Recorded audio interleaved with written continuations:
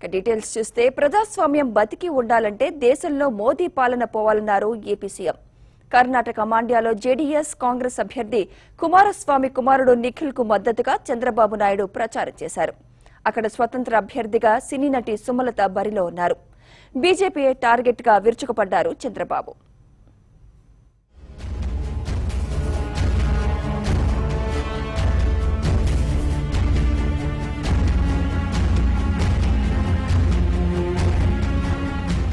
బీజేపీని ఎట్టి పరిస్థితుల్లోనూ అధికారంలోకి రాకుండా చూడడమే లక్ష్యంగా పెట్టుకున్న చంద్రబాబు నాయుడు కర్ణాటకలో జేడీఎస్ కాంగ్రెస్ కూటమి తరపున ప్రచారం నిర్వహించారు. సోమవారం మండ్యలో నిర్వహించిన బహిరంగ సభలో పాల్గొన్న ఆయన చాలాసేపు తెలుగులో ప్రసంగించారు. కర్ణాటకలో సీఎం కుమారస్వామి సుపరిపాలన అందిస్తున్నారని ఏపీ సీఎం చంద్రబాబు కితాబిచ్చారు. మోదీ ఈ దేశాన్ని భ్రష్టు పట్టించారని మండిపడ్డారు. అధికారంలోకి వచ్చాక మీడియా సమావేశం నిర్వహించని ఏకైక ప్రధాని మోదీ అని ఆయన ఎద్దేవా చేశారు. మరోసారి మోదీ అధికారంలోకి వస్తే దేశంలో ఎన్నికలే ఉండవని ఆరోపించారు. నోట్ల రద్దు వల్ల ఎవరికైనా లాభం జరిగిందా అని ఓటర్లను ప్రశ్నించారు. మోదీ పాలనలో వ్యవసాయం బాగా దెబ్బతిందని ఆర్థిక వ్యవస్థ చిన్నాభిన్నమైందని ఆరోపించారు. ఆయన మాటలకు పనులకు పొంతన లేదన్నారు. రెండు వేల రూపాయల నోట్ల వల్ల రాజకీయాల్లో అవినీతి పెరిగిందని అసలు ఆ నోటును ఎందుకు తెచ్చారో మోదీ జవాబు చెప్పాలని డిమాండ్ చేశారు చంద్రబాబు. ఈ దేశాన్ని భ్రష్టు పట్టించిన వ్యక్తి నరేంద్ర మోడీ గారు. I'm asking prime minister. I'm here. Kumaraswamy గారు is here. We're addressing so many press conferences but narendra modi never address even one press conference if we lose the battle in two thousand nineteen Narendra Modi tomorrow he is not going to conduct elections also. That is very dangerous for democracy is in danger. Demonetization తీసుకొచ్చారు ఒక పిచ్చి తుగ్లక్ చర్య తప్ప దీనివల్ల ఎవ్వరికీ లాభం రాలేదని మరొకసారి మీ అందరికి విజ్ఞప్తి చేస్తున్నా ప్రజాస్వామ్యం మనుగడ సాధించాలంటే మళ్ళీ ఈ యొక్క మోడీ ఇంటికి పోవాల్సిన అవసరం ఉంది. ప్రజాస్వామ్యం బతకాలంటే మోదీ ఇంటికి పోవాలన్నారు AP CM Chandrababu Naidu.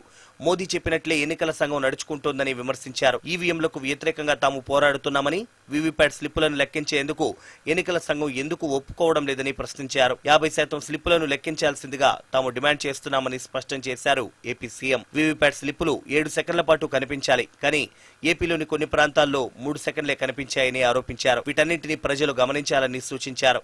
After exercising your vote you have to see the ballot paper in VVPAT. There you have to see your vote is casting accordingly or not you have to see.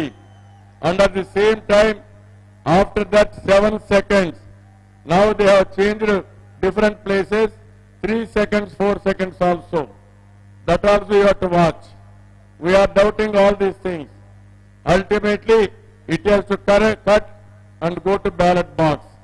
Till that time, you have to watch that vote.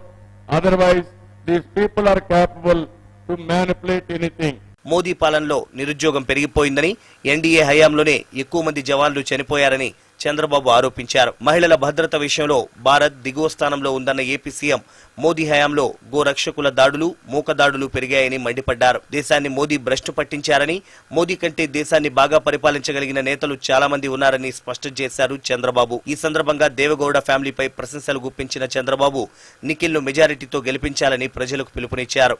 Narendra Modi గారు చెప్పేది నేనే తప్ప ఎవరు లేరంటున్నారు.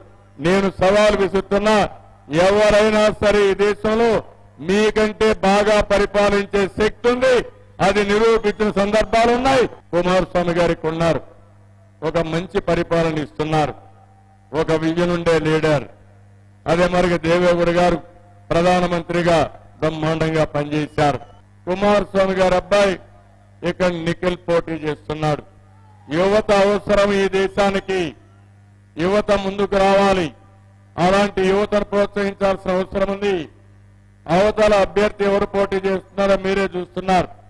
మొన్నటి వరకు కాంగ్రెస్లో ఉండి seat రాకపోతే ఈ రోజు పోటీ చేస్తూ బయట నుంచి బీజేపీ సపోర్ట్ చేసే పరిస్థితి వచ్చింది. నేను అడుగుతున్నా బీజేపీ పోటీ చేయలేకుండా దొడ్డిదారిని సపోర్ట్ చేస్తున్నారు తప్ప ఇంకోటి కానే కాదని ఇక్కడ ఓటర్స్ అందరికీ విజ్ఞప్తి చేస్తున్నా. బెంగళూరు మైసూర్ అంటే తెలుగు వాళ్ళకు ఎంతో ఇష్టం. కర్ణాటక ధాన్యాగారంగా మండ్య నిలవడం ఎంతో ఆనందంగా ఉందని చంద్రబాబు అన్నారు. కావేరీ నీళ్ళతో తడిశాక ఈ ప్రాంతం సస్యశ్యామలంగా మారిందని చెప్పారు. ప్రధాని పదవికి వన్నె తెచ్చిన వ్యక్తి దేవగౌడ అని